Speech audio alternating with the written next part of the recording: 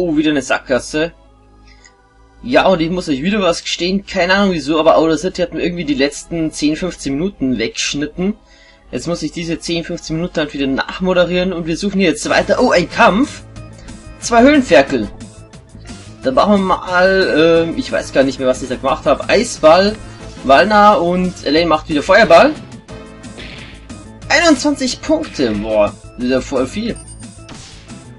Ah, dagegen Eisball nur 15. Und nicht mal gelähmt wurde ich. Äh, wurde es, nicht ich. So, zu einem Blutsauger, dann ist das Blut wieder voll. Und das erste Höhlenfeld geblutet und das zweite blutet ebenfalls. Ja, da hilft das Grunzen jetzt auch nichts mehr. Ihr zwei seid jetzt tot. Da habe ich mich wohl einmal verdrückt. So, jetzt hat. Und tot, tot. Ja. Und dann ist der erste recht tot. 22 Erfahrungen und zwei schwache Seelen. So, dann geht's hier weiter nach oben. Aber jetzt erstmal speichern. Was? Funktioniert nur in unverwandelter Gestalt? Ja, dann eben nicht speichern. Die 30 Sekunden warten noch. So, wo geht's hier jetzt weiter? Da ist eine Schatztruhe. Mit einem Trank der Ewigkeit.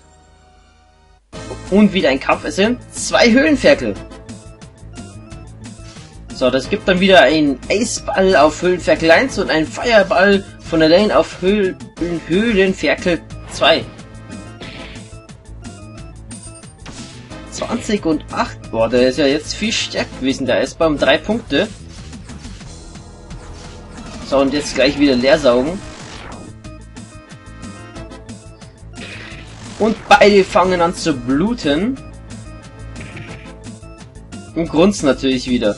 Ah ne, nur eins grunzt. Das zweite fügt zwei Punkte Schaden zu. Wow, zwei Punkte.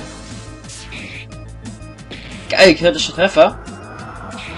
Aber Wallner, der schafft es auch mit einem normalen Treffer. Wieder 22 Erfahrungen und zwei schwache Seelen.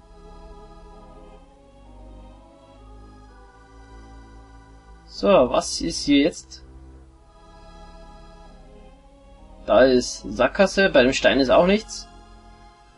Und... Psst, ich höre etwas. Lass uns langsam weitergehen. Ja, sie sind hier. Zwei weitere dumme Vampire, die keine Ahnung haben. Vernicht! Vernichte sie. Sie bedeuten Ärger. Ich will es nicht riskieren. Wie steht es denn mit meiner Belohnung? Das übliche. Reichlich frisches Blut, sowie 10.000 Filar pro Vampir. Doch vergiss nicht, bevor ich dich bezahle, musst du mir ihre Köpfe bringen.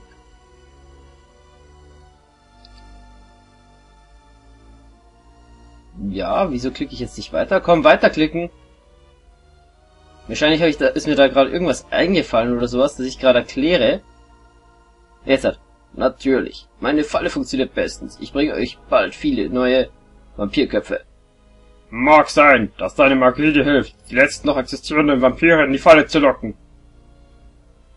Doch überschätze dich nicht, zumal es sowieso nicht mehr viele Vampire auf der Welt geben. Dürfte. Von uns beiden mal abgesehen. Und den beiden, die du gleich töten wirst. Dann hat die Welt ein Problem weniger. Wie ihr meint. Ich hoffe doch, dass ihr mich nicht am Ende auch noch tot sehen wollt. Sei unbesorgt. Solange du keine weiteren Vampire schaffst, darfst du für ewig leben. Gut, dann kümmere ich mich jetzt um die beiden. Schon morgen werdet ihr ihre Köpfe in den Händen halten. Gut, ich werde auf sie warten. Na schön, dann will ich mal mein Geld verdienen. Ich liebe das Geräusch, wenn meine Klinge ihre Hälse durchtrennt. Was sollen wir jetzt machen? Ich würde sagen, ja, wir greifen an, wir schleichen uns vorbei. Vorbeischleichen. Wie du meinst. Ja, da haut er jetzt ab. Gut, und jetzt werde ich, werde ich aber runtergehen, weil ich noch, wenn ihr euch erinnert, da gab es noch einen mittleren Gang. Links gab es die Truhe mit dem Trakt der Ewigkeit, rechts sind wir hier jetzt gerade nach oben gekommen. Hier speichern noch mal kurz. Und in der Mitte war noch ein Gang, den haben wir nicht gegangen. Den wollt, will ich jetzt gehen, aber da wartet der Praxis. Ich hatte mich doch nicht so getäuscht, als ich etwas gehört habe. Mist! Abraxas erscheint. Was seid ihr doch für Narren, aber so erspart ihr mir wenigstens den weiten Weg. Jetzt wirst du sterben! So, wir... Habe ich da Abwehren gedrückt? Nee. So, Eisball, in der Hoffnung, dass es ihn lähmt. Und Elaine natürlich ein Feuerball.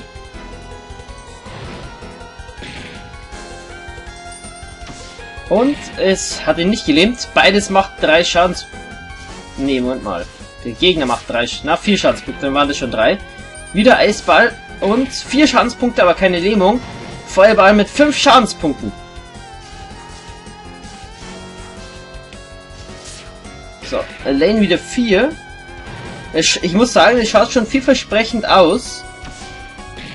Ich meine, wir machen doppelten Schaden von dem, was er uns zufügt und notfalls, gut, wir können ihn nicht mehr auch Blut aussaugen, weil er ist Vampir, hat schon, er hat kein Blut mehr, er muss es selber saugen. Aber wir haben genug Bluttränke, Blutfiolen und sonst was dabei, ähm, das heißt, wir können da immer weitermachen. Wenn er irgendwann mal tot wäre, immer wieder Eisball und Feuerball weiter. Aber der Typ wird einfach nicht... So, jetzt habt ihr mich lange genug amüsiert. Jetzt werdet ihr sterben! Und er zaubert Schock. Als Blutgeist erleidet ihr unendliche Qualen. Game over. Ja, das ist das Problem. Wir können den nicht töten. Und das ist richtig, richtig scheiße. Naja. Auf jeden Fall laden zum Glück haben wir gespeichert gehabt. Und natürlich ein Höhlenferkel erscheint. So, da einfach nur angreifen. Tut's gleich auch beim Höhlenferkel. Vor allem beim einzigen. Einzelnen nennen wir nicht.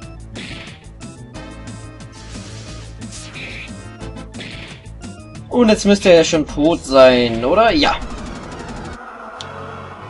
Elf Erfahrung und eine schwache Seele. So, und jetzt abhauen. Was für ein seltsames Gerät ist das hier? Er hat doch sicher nicht mit dieser Statue gesprochen, oder? Wohl kaum. Wenn sie lebendig wäre, hätte sie uns schon bemerkt. Aber mit wem dann? Dieses Zeug erinnert an das, was Aska in seinem Magierzimmer stehen hat. Aber das sieht hier nicht danach aus, als würde es dazu dienen, Seelenstände herzustellen. Hier ist der Knopf. Sei vorsichtig. Mal sehen, was passiert. Was gibt es, Abraxas? Verdammt! Sag schon, was du willst! Verärgere mich bloß nicht! Bring mir diese beiden Vampirköpfe! Ist ein Kommunikationsgerät. Also Praxis heißt er. Kanntest du die Stimme? Nein. Aber wir sollten jetzt wirklich verschwinden. Ich frage mich, wer das war. Er hat gesagt, er wäre ein Vampir. Komm jetzt, Apraxis kommt bestimmt gleich zurück. Gehen wir! So, und... Jetzt sind wir hier bei diesem komischen Gerät. Hier oben ist das Loch, durch das wir hier hereingekracht sind. Kannst du dich wieder in eine Fledermaus verwandeln? Ich hoffe es. Ich weiß auch gar nicht, wie Apraxis es geschafft hat, einfach so meine Verwandlung zu beenden. Okay, ich probier's. Und deine Freundin muss warten. Ich werde uns zum Schloss zurückbringen. Na schön, dann gehen wir eben morgen nach Klenna. Hm, ich probier's nochmal. So, jetzt funktioniert's. Und wir fliegen zurück ins Schloss. Na schön, Elaine, wir reden morgen über alles. Ich werde mich erst einmal, besser erst einmal etwas ausruhen. Wenn du nach den allen jetzt schlafen kannst, bist du zu beneiden, Walner. Gute Nacht, Elaine. Gute Nacht, Walner. Ja, dann einmal schön schlafen. Oder doch nicht.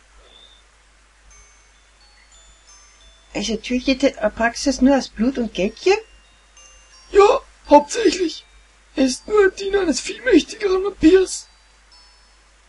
Und dieser Vampir möchte, dass alle Vampire auf der Welt vernichtet werden.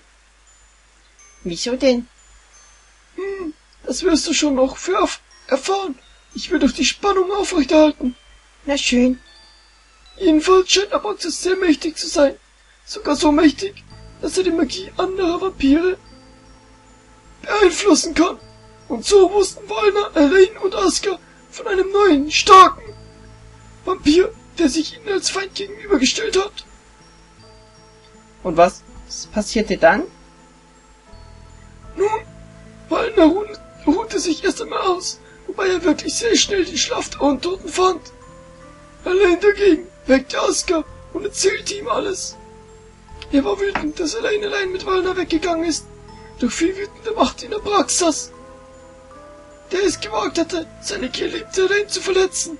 Und auch Aska wollte den Grund dafür wissen, weshalb Abraxas es sich zur Aufgabe gemacht hatte, alle Vampire zu töten und wer sein Geldgeber war. Doch noch am selben Abend passierte an einem ganz anderen Ort auch etwas sehr Wichtiges. Am selben Abend etwas ganz Wichtiges. So, jetzt erstmal speichern. Und so denke ich, dass es unabdingbar wird, die Silberproduktion nochmals zu...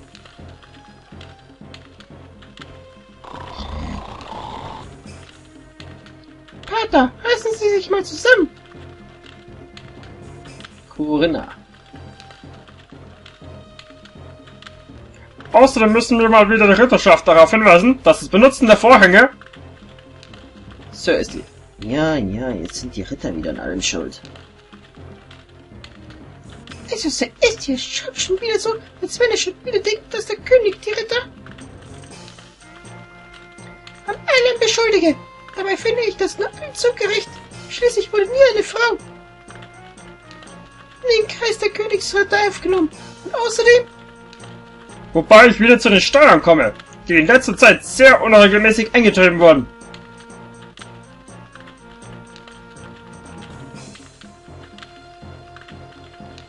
Ja, und weiter? oh Mann, jetzt sind wieder die Steuern dran, zum tausendsten Mal.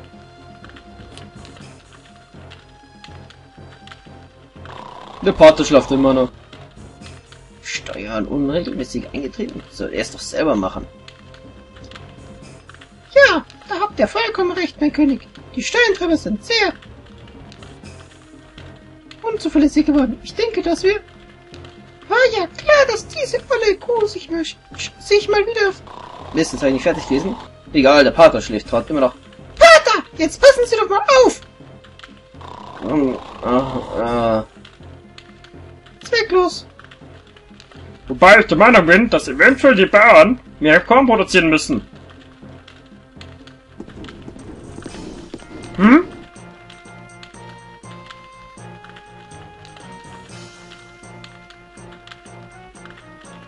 Herr, uns erreichte gerade eine sehr merkwürdige Nachricht per Brieftaube. Zeigt her! Hm. Hier steht, dass der Bürgermeister von Melsan schon lange nichts mehr von den Eldanes gehört hat. Und dass er deswegen sehr beunruhigt sei. Er bittet uns, einen kleinen Trupp Ritter mal nach dem Rechten schauen zu lassen. Ich denke, das ist eine ganz gute Idee. Dann können wir gleich von ihnen die Steuern eintreiben. Was ja keine unerhebliche Summe ist. So ist er. Was denkt ihr? Ich werde sofort eine kleine Truppe aufstellen, mein König. Wir brauchen da noch ein Schiff, um nach Schloss Aldens zu kommen. Das sollte kein Problem darstellen. Ich werde ein Schiff für euch bereitstellen lassen. Gut, gut. Dann werden wir schon morgen das Schloss erreicht haben. Gut, dann hätten wir das geklärt. Damit komme ich dann wieder zu den Unebenheiten der Gebirge. Unebenheiten der Gebirge. Der Typ hat sie doch nicht alle, oder? Und der Pater pennt immer noch.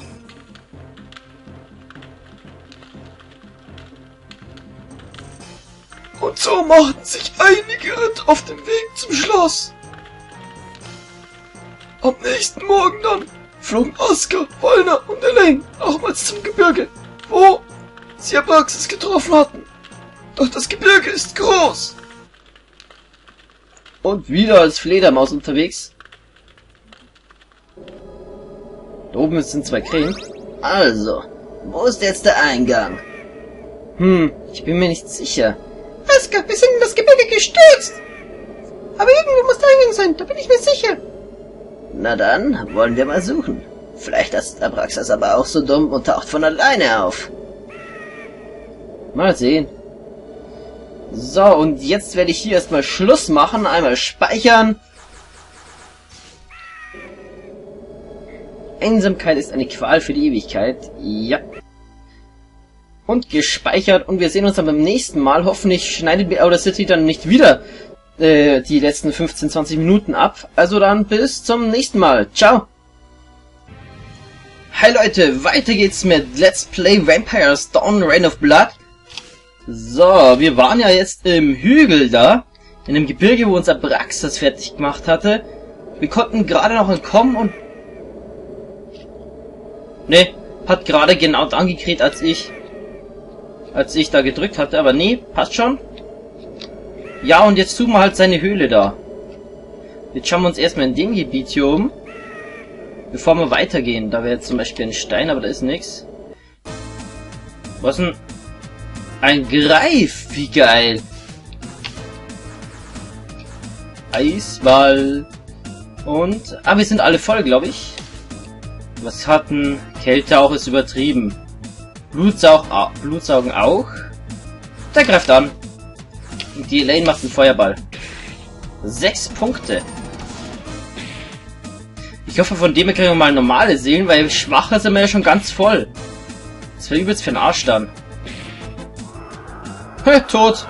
Und komm schon, normal. Nein! Mist.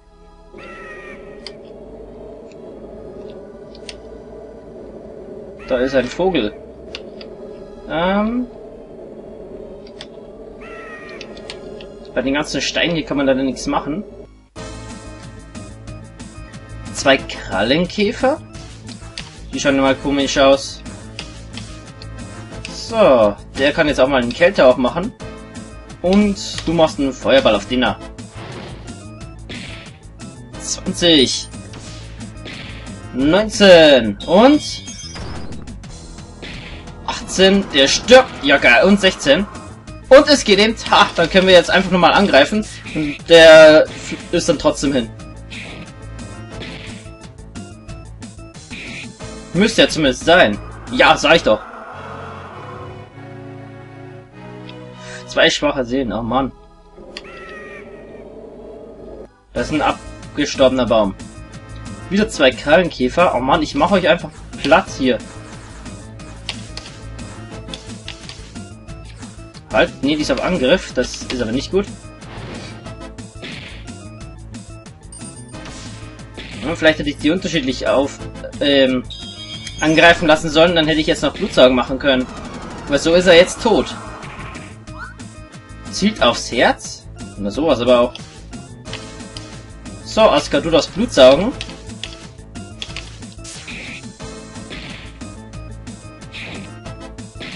Kommt überhaupt dazu? Ja. Hat kein Blut? Na toll, die Kraniche haben kein Blut. Dann muss ich mal bei den Greifen schauen. Also auf jeden Fall, da ist ein abgestorbener Baum. Aber auch der hat nichts. Hm. Zwei Greife! So, Eisball, Kette auch und Feuerball auf den anderen. Wie kommst du dazu, wie kommt ihr dazu anzugreifen, bevor meine anderen zwei dran waren? Ha, gelähmt. Ist bereits gelähmt, geil. Auch gelähmt, ha. So. Dann Blutsaugen einmal den da und du hast gar den da. Der Lenkraft einfach irgendwen an. 20. Und er lebt noch. Ah, aber jetzt nicht mehr. So, und Aska 4 saugen. 20 auch. So, ein normaler Angriff reicht. Blut hat er ja keins mehr. 40 Erfahrung, geil.